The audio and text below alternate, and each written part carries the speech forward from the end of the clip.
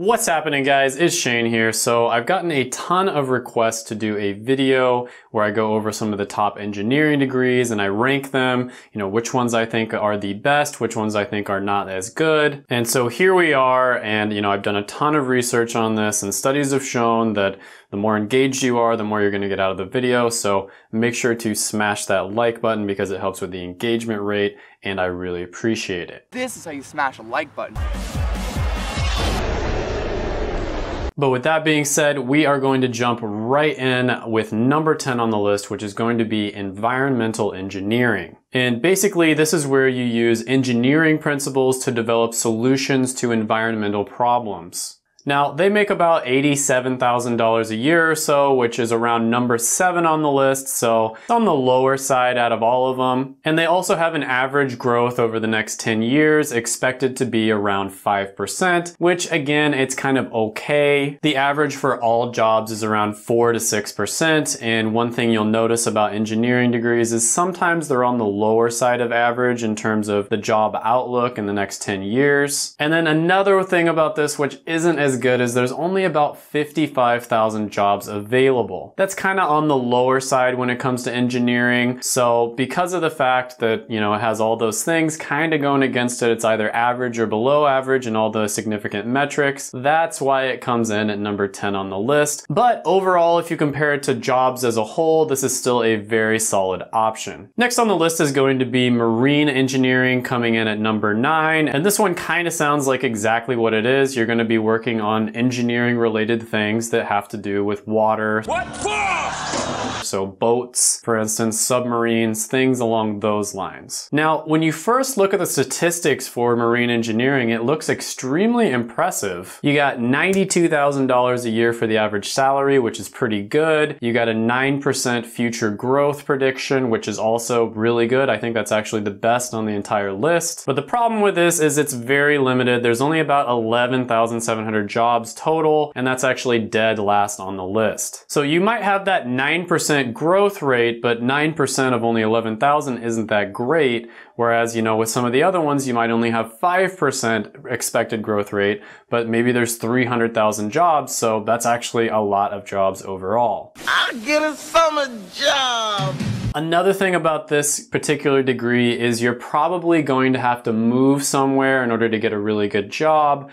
And then it's not going to be as flexible as some of the other ones on the list where let's say you don't want to work in this particular career field, you can easily just transition into a different one. Your skills are coveted in a bunch of different fields. This one isn't exactly like that. It would probably be quite difficult to transition. And that is why this one comes in at number nine on the list and not better. Number eight on the list is going to be civil engineering. And this one is all about using engineering principles to, you know, develop different infrastructures or buildings and that sort of thing. And the great thing about this one is there is kind of a level of oversight on this one, meaning if you're more of a hands-on person, this might be one of the better degrees for you to get into when it comes to engineering because you're kind of on site and you're where the action is. This one is a, one of the lower paid ones on the list. It's only around 86,000 a year or so, which is not good. It's kind of like average or lower. Now this is definitely one of the lower paid on the list. In fact, I think it comes in at dead last. You only get paid an average about $86,000 a year. However, there is a ton of job openings, about 326,000 right now,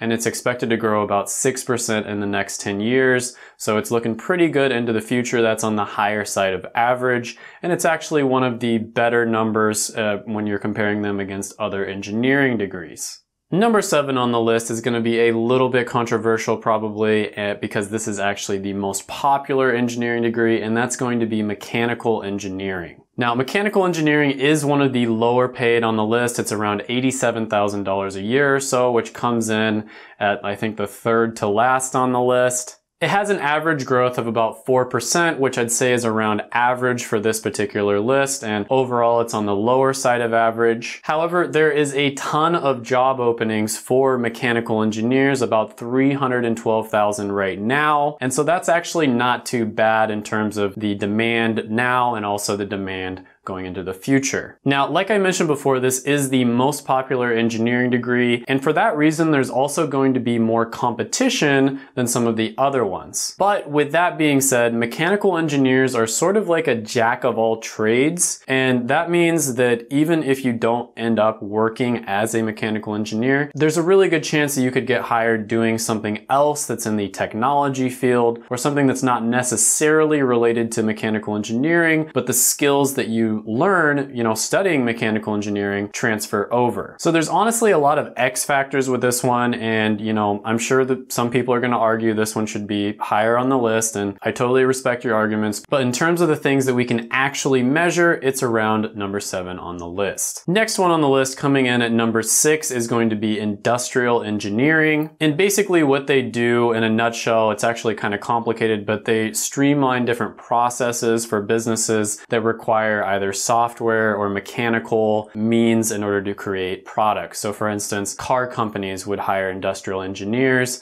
to design and streamline a process of creating a car so that the finished product is not only efficiently made, but it's also really good. So in terms of pay, this one is the second worst on the list at about $87,000 a year. However, there are a ton of job openings now, about 284,000, and there's gonna be even more in the future at about 8%. And the 8% is the second best on the list. So there's basically a ton of opportunity in the future for this one. And it really does make sense. I mean, everything in terms of business is getting streamlined. Everybody is focused AI, streamlining processes, and that is exactly what industrial engineers help with. So it doesn't quite pay as well as a lot of the others on the list. However, there's so much demand and the other stats look so good for it. And I really just see in the future, just if you use kind of common sense, I see this one being extremely coveted by businesses as we go into the age of automation. And so for that reason, I put them at number six. So number five on the list is going to be chemical engineering. And basically what they do is they use the principles of chemistry as well as, you know, engineering, physics, biology, even mathematics in order to improve or create different products related to food or drugs or fuel, something along those lines. So in terms of the median pay, it's actually extremely good at about $104,900 a year. That comes in at, I believe, number three or number four on the list. It's kind of tied for number three, I believe. And there's also a 6% average growth, which is on the higher side on the list. Again, 4 to 6% is normal, so it's on the higher side of normal overall, but for this particular list, that's actually pretty good. However, the one really bad thing about this one, and it's the reason why it's not better ranked on this list, is there's only about 33,000 job openings, which is one of the lowest out of all of them. Still, chemistry as a whole and chemical engineering specifically, in my opinion, is really starting to make a comeback in terms of skills that are extremely valued by different companies. And so I do see this one kind of becoming even a little bit more valuable in the future. It's also a relatively flexible degree, which was somewhat surprising to me. I kind of just pictured it as being one of those things where you can only get a certain amount of jobs, but there's actually quite a few opportunities out there for chemical engineers. So if you decide to not go into, you know, specifically chemical engineering, there are a lot of options out there for you. You could go into the, you know, natural gas industry, oil, those sorts of things. But with that being said, you might have to move somewhere in order to have the best opportunities and get the best career options. And that does kind of suck because maybe there's a particular city that you want to live in, maybe your family lives there, and with this particular career, you might end up having to move away. And it's actually very similar to number four on the list, which is petroleum engineering. Now, you might be surprised that I put them as number four because this one has the highest salary by a mile. It comes in at number one easily at $137,000 a year. That is just totally insane for a four-year degree. You get out and you're already making like $137,000 a year just with a four-year undergraduate degree. That's, that's insane. I think that's actually the best out of any undergraduate degree. So it wins in that one particular category, but unfortunately every other category it's going to be below average or average at best. So for instance, there's only about 33,500 jobs available right now, and it's only expected to grow at about 3% over the next 10 years. Neither of those are very good. They're towards the bottom of the list. And on top of that, this is another one of those degrees that's not very flexible. Your skill set won't necessarily translate as easily into a different industry. That doesn't mean you can't move into a different industry. It's just not going to be as easy or seamless as something like mechanical engineering, for instance. And this is also another one where you will likely have to move somewhere in order to have the best opportunities. There's a good chance that you won't be able to get a job in your favorite city or your hometown, and you'll have to move somewhere where all the jobs are available. And this might be a small town in Texas that's right next to an oil field, or it might even be like an oil rig that's out in the middle of the ocean. And unfortunately, those are going to be your options. But if you're okay with those sorts of things, then you could even say that this might be number one or number two on the list. But overall, I kind of think that the average person is not going to enjoy that. And that's why I put it as number four. And this one is actually extremely similar to number three on the list, which is aerospace engineering. Now again, it has a ridiculously high pay, which is about $115,000 a year, which I believe comes in at number two on the list. There's about 67,000 jobs available right now, which is average to below average. And then it's only expected to grow about 2%, which is definitely below average. And I think that's actually one of the lower ones on the list. And this is really one of those majors where it's kind of feast or famine. You know, if we're in a wartime situation, for instance, they're probably going to need a ton of aerospace engineers. But if we're not, you might not need as many. So there's a bunch of different factors that influence, you know, how many aerospace engineers you need. And at this particular time, we're kind of in the famine part of the feast or famine. And it basically has all of the same issues that petroleum engineering has, where you're probably not going to find a job in your hometown or your favorite place to live. You're going to have to move somewhere, probably not quite as bad as petroleum engineering, but you'll likely have to move to a different place in order to get the best opportunities. And it's also not going to be very flexible. Probably again, slightly more flexible than petroleum engineering, but it's not nearly as flexible as something like mechanical or electrical. Still, this is a very good option and that's why it comes in so high on the list. Speaking of electrical engineering,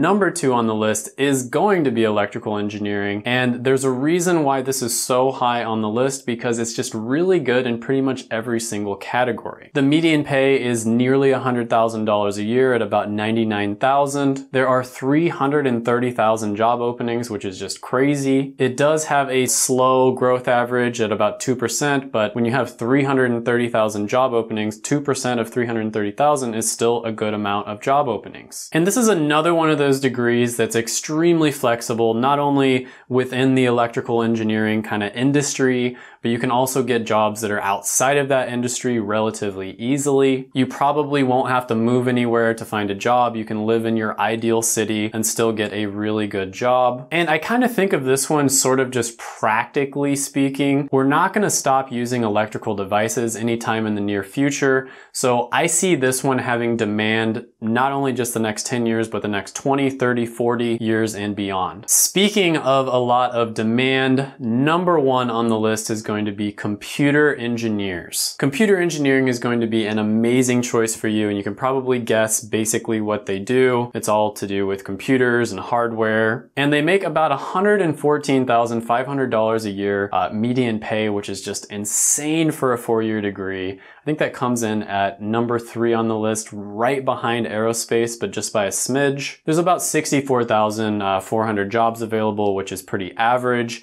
However, it does have a 6% expected growth rate, which is one of the higher ones on the list. But to me, what really sets this one apart, besides from its really good stats, is its practicality. What sets it apart is the fact that it does overlap with computer science, even though you're more focused on hardware than software, you still have to have a really good understanding of the software side of things. And as we're entering the age of automation and streamlining, these sorts of skills are going to become extremely valuable. There are going to be tons of opportunities within the next 20 years. And let's say you don't want to be a computer engineer. This is a really good one to transition into computer science. You'd be able to bring a perspective into computer science that a lot of tech companies would probably really want to have on their team. So the fact that you can transition into probably the number one industry in the world, which is tech, and it would be something that a lot of people would love to hire you for, means this one comes in at number one on the list. But overall, all of these are really good options uh, in terms of getting employed, and really you should just go for the one that is the best fit for you personally. So you want to think about what you're good at, obviously, but you also want to think about what you're passionate about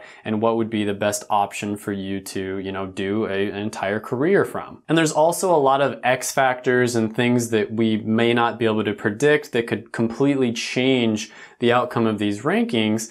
And then another thing is if you happen to live in a city, for instance, that has a bunch of petroleum engineering jobs and that's your hometown, that's the place you want to live, maybe that would be something that would make it number one on the list for you. So there's a lot of different things to consider. And of course, you should always do your research, talk to people who are already doing the jobs, and just make sure you choose the best option for you. Make sure to check out my videos right here. I made them just for you. Go ahead, smash the like button, hit the subscribe button, ring the little notification bell, and then comment down below. Thank you so much for watching and bye for now.